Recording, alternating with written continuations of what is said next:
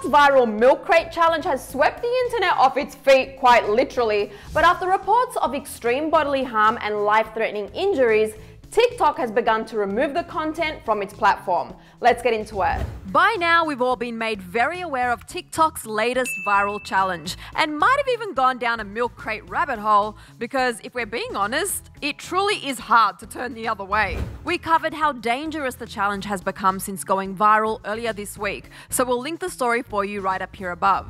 So, if you're like us and have watched more milk crate videos than you're willing to admit, the first of many questions that commonly arises is where are people getting all these milk crates?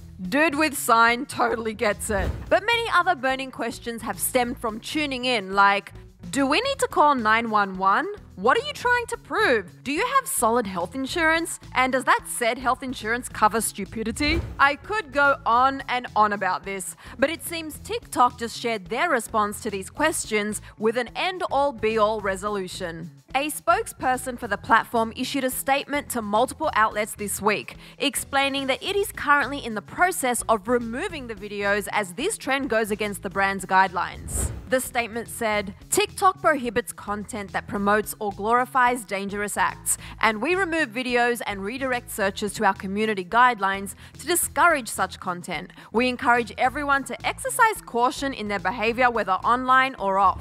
While these videos are being swept off TikTok, they are, however, still able to be shared via other social media platforms, like Instagram and Twitter at the time of reporting.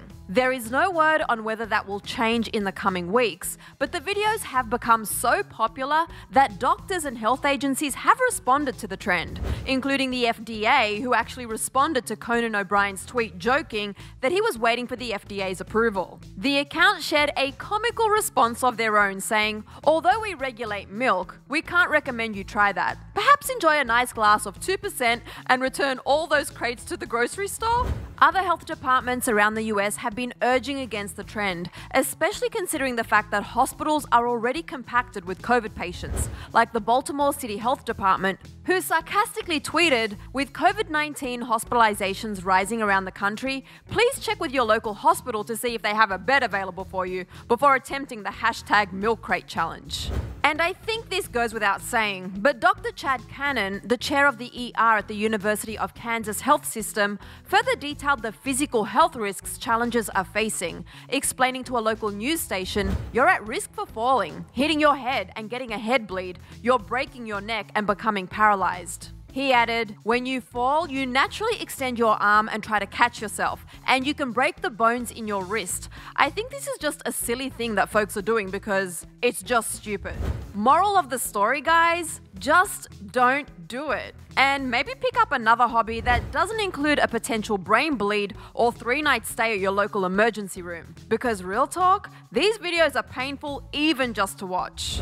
And to see what an actual orthopedic surgeon had to say about the dangerous viral challenge, click right over here for another Clevver video. Then be sure to let me know your thoughts on TikTok's decision to remove the content from their platform in the comments section below.